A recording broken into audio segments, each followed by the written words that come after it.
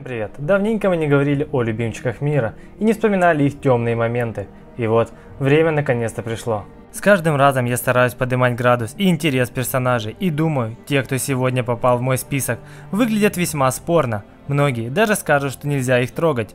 Ну а я потрогаю. Easy. Обязательно подписывайтесь на канал и ставьте лайки, ведь это помогает в его продвижении. Заходите в инстаграм и телеграм канала. Ну а с вами, как всегда, Антоп, и мы начинаем.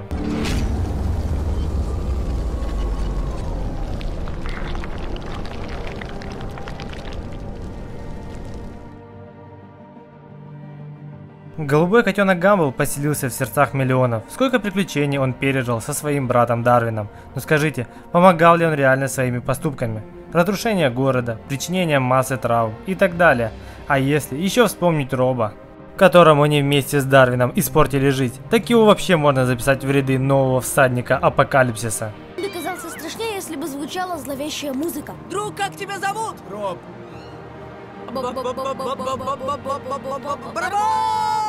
Я Роб. Я бы предложила что-нибудь вроде Робертус ужастус автобус! Робертус ужастус автобус! Вы просто представьте себе, живете в роли обычного человека, потом вас резко выкидывают в никуда, а по возвращению вам говорят, что вы должны быть злодеем. Гамбл вообще не думал о последствиях, и именно это решение повесить ярлык на Роба не дало тому спасти мир в последних сериях, ведь из-за Гамбла ему больше никто не доверял. Ты самый невыносимый, самый надоедливый, самый эгоистичный тип, кого я знаю. Те, кто проходили первую часть, прекрасно понимают, почему данный персонаж попал в этот список. Мало того, что на протяжении всей игры Джоэл перебил огромное количество народа, он также сделал потенциальное изобретение вакцины от эпидемии невозможным. Оказывается, таких как ты много. Людей с иммунитетом, и от них никакого толку. В определенный момент Элли попадает в лабораторию, где работают ученые, занимающиеся разработкой вакцины от мутаций, которые спровоцировала грипп. Ради спасения жизни девочки Джоэл перебивает почти всех ученых, что делает дальнейшее исследование невозможным. Да, можно сказать, что он поступил правильно, ведь спас Элли, которая стала ему как дочь. Напоминаю, что ради нее Джоэл пожертвовал остальным человечеством. Ради справедливости отмечу, что это довольно спорный вопрос, и мне кажется, что он был прав. А как считаете вы, что бы выбрали вы, самый родной человек или весь мир? «Скажи мне». Этот проект с вакциной убил бы тебя. Я остановил их. Наруто Узумаки, шиноби деревни скрытого листа, главный персонаж вселенной. По воле судьбы он стал изгоем для большей части людей в Канохе на протяжении всего своего детства. Доча, лучше не играй с ним. От него одни беды и только. После присоединения к команде Какаши, Наруто упорно трудился, чтобы получить признание всех в деревне и исполнить свою заветную мечту – стать Хокаге. В последующие годы он упорно трудился и стал способным ниндзя, которого считали героем. Вскоре он оказался одним из ключевых факторов победы в Четвертой мировой войне Шиноби, что в конце концов привело его к достижению его заветной цели – стать седьмым Хокаге. И вы все его знаете. Это Узумаки Наруто.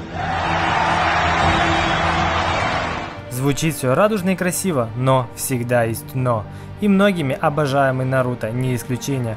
Он без надобности прощал персонажей, которые этого не заслуживали.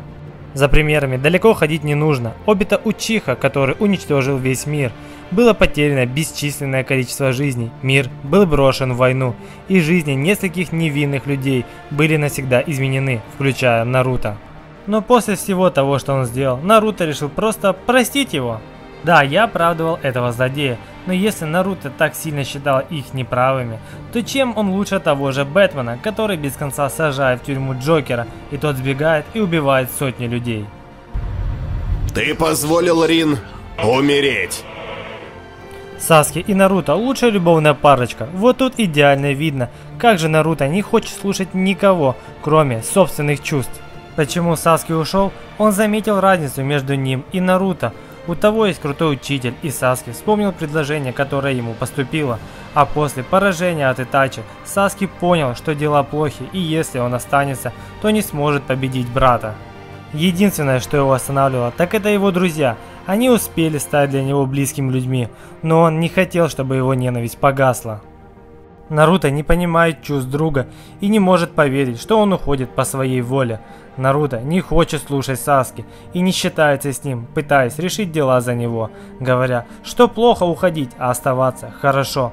Но Наруто это ведь делает не ради Саски, а ради себя, ведь он остается один. Вернись в Каноху. Не-не-не-не-не. Да ты боё. Не кажется ли вам такое отношение эгоистичным и надменным? Почему он решает, что каждый должен делать и как, кому лучше? У многих Артем ассоциируется с образом доброго парня, который изо всех сил старается помочь рейнджерам и жителям метро и всячески улучшить их условия жизни. Однако, если проанализировать все действия этого героя, становится понятно, что он не такой уж и хороший. Начнем с того, что каноничной концовкой первой части считается та, в которой Артем уничтожил черных.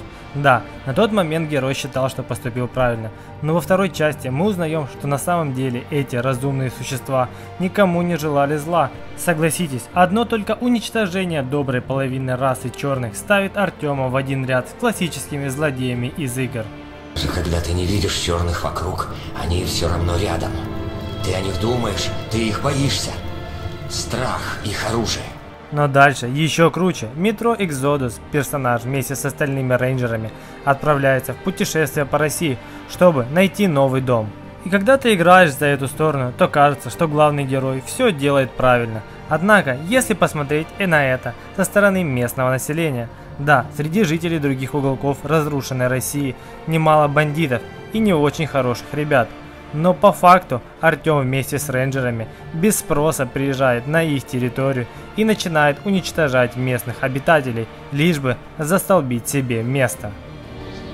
Какой-то мудрец сказал, если мы не покончим с войнами, войны покончат с нами.